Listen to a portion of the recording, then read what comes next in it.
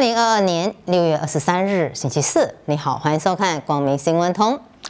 根据大马破产局的资料，我国今年首五个月有两千六百九十四人破产，也就是说，平均每一天有十八个人破产。另外，数据也显示，从二零一八年到今年的五月，共有四万六千一百三十二人宣布破产。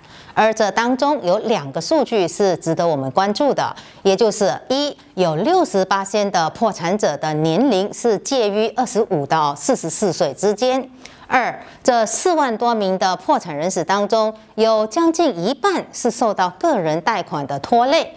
而其他导致破产的原因还包括汽车贷款、商业贷款和拖欠信用卡的账单等等。无论如何，国内的破产人数已经从二零一八年的一万六千多人减少到去年的六千五百多人。而破产人数之所以大幅度的减少，是因为大马在二零二零年的九月修改了破产法令，把破产的门槛从五万令吉提高到了十万令吉。对此，消费人财务专家穆罕默法兹里教授在接受媒体的访问时就说：“虽然破产人数是减少了。”但是有一半的破产人数是因为个人贷款，以及目前平均每天有十八个人破产的现象，还是让人很担忧的。他劝告陷入财务困难的民众，应该要寻求专家，例如啊信贷咨询与财务管理机构，也就是 AKPK 的帮助，而不是直接申请新的贷款和工期。在州属方面。雪兰莪的破产人数是最多的，截至今年五月，一共有呃七万两千六百零八宗。第二多的是联邦直辖区，有四万六千八百七十六宗。接着是柔佛，有三万两千四百四十一宗。经济学家认为，在全球原产品价格一片高涨声中，如果大马政府取消部分津贴，以及鸡肉和鸡蛋不再设定顶价的话，只会让食品通膨飙高。MIDF 的研究报告显示，如果国内供应恶化，假设今年的食品通膨涨到了七八仙，明年再飙到十八仙，那么总通膨率可能会创下新高，也就是按年增长五点八八仙。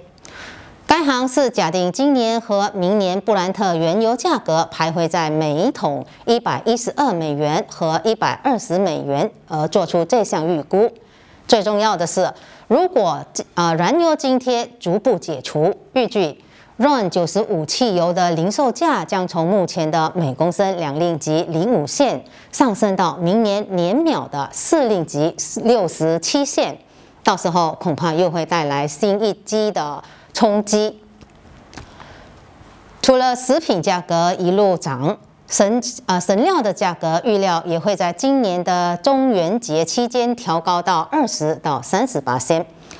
马来西亚商料商工会会长李祥明受访时就表示，这是因为受到原料短缺、马币疲弱和人手不足的影响。他说，由于汇率的变动，从中国进口的神料价格已经调涨了三十八仙。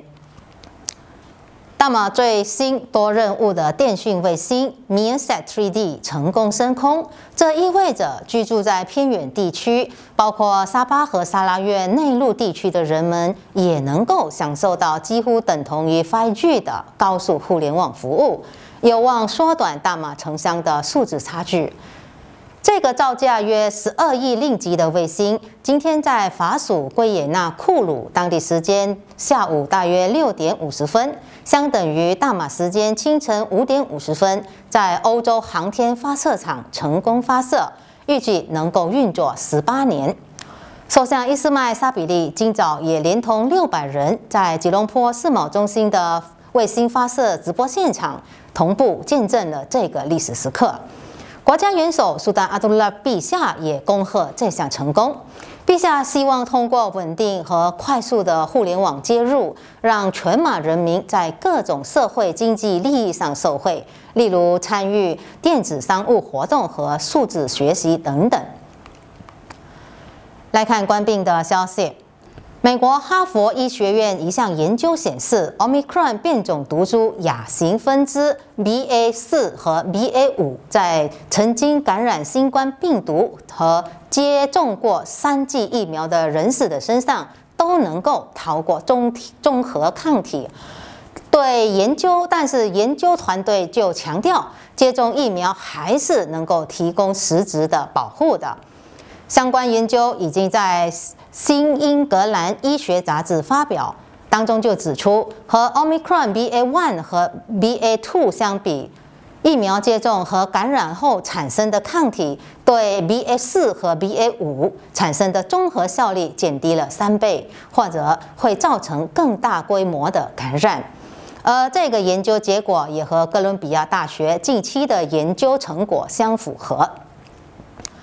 另一方面，世界卫生组织发表每周疫情报告，指上周全球共新增了三百三十万宗病例，相比前一周下降了四八仙。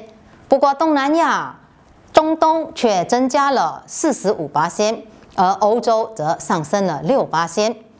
而在死亡病例方面，上周全球增加了七百五十宗，下跌了十六八仙。但是东东南亚是唯一一个死亡个案增加的地地区，增幅是大约四八千。今天的新闻就播报到这里，感谢收看，我们再见。Your journey with the SHIP campus begins here. There are countless opportunities to learn outside the classroom at the SHIP campus. Here at the Opera Theatre, learning is amplified in this great hall that holds over 470 students.